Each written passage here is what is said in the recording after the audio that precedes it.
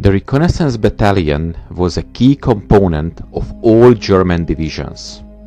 This was especially true for the panzer divisions.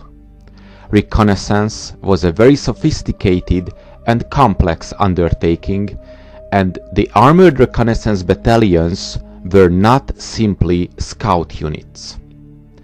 The tactical doctrine governing the employment of these battalions was that they should fight for the information. Locating the enemy was only the first step in the process.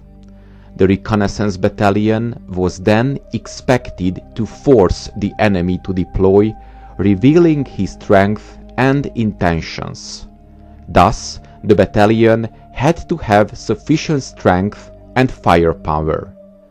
These considerations governed its organization from 1939 until 1945.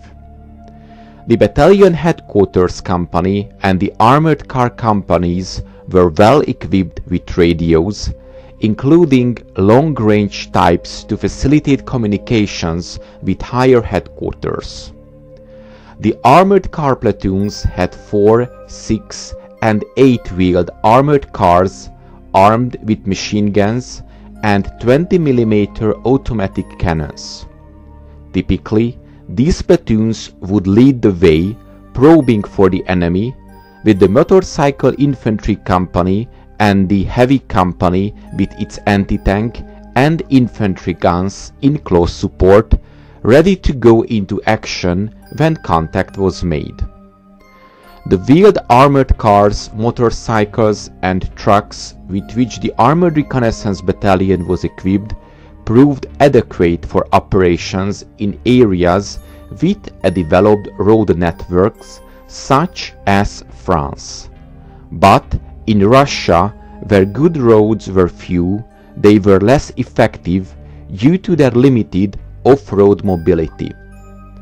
The first year of the campaign in Russia also disclosed that the, that the battalion's firepower was inadequate.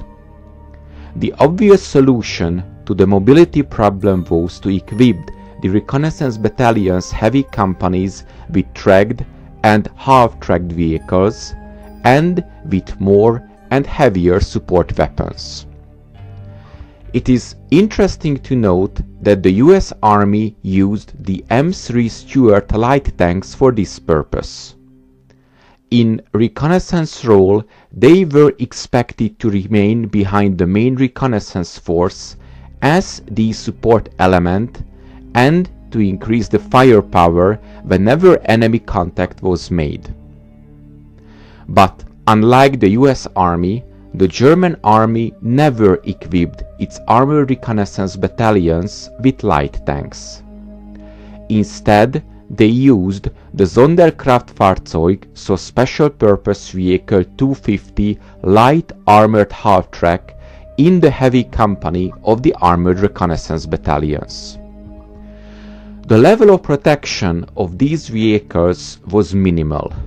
Rifle caliber small arms fire and shell fragments would likely be stopped, but anti-tank rifles and virtually any form of artillery could perforate the 250 even at long ranges. The heavy company had 5 officers, 43 NCOs and 189 other ranks. It had two 250-3 command vehicles. This version had fewer seats, but it was equipped with long-range radio equipment. These were sometimes used by battalion and higher commanders as personal command vehicles. Most famously, a 250-3 was used by Erwin Rommel in the North African campaign. Early versions had large bed frame antennas which were easy to spot on long range, making them more vulnerable to artillery fire. Later variants used the far less conspicuous whip antenna. The company had three platoons with 28 250-1 APCs, three 37mm gun-armed 250-10 for the platoon leaders, and four mortar-equipped 250-7 APCs which mounted an 81mm mortar. However, there were never enough APCs to replace wheeled armored cars completely. Nonetheless, the 1942 Armored Reconnaissance Battalion, as it was by then designated, was considerably larger and more heavily armed than its predecessor. In the second part of the war, in addition to its primary role, the Armored Reconnaissance Battalion was frequently employed as a mobile reserve force, particularly when its parent division was on the defensive. When so tasked, it was usually organized as a battle group or Kampfgruppe in German, with additional divisional units attached. This practice of cross-attaching divisional subunits to create task forces for specific missions was a standard practice of the German army.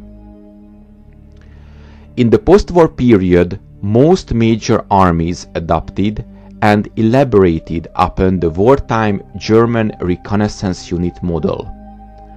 The US Army, for example, evolved the Armored Cavalry Regiment, in effect a mechanized brigade with its own tank, artillery and helicopter support.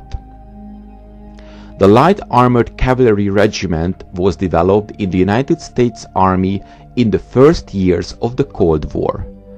The new regiments primarily tasked with providing reconnaissance and security capabilities at the corps level, although also able to attack and defend either mounted or dismounted. The structure of each regiment included a headquarters and headquarters company and three reconnaissance battalions, each of which included a headquarters, a service company, three reconnaissance companies, and finally a medium tank company.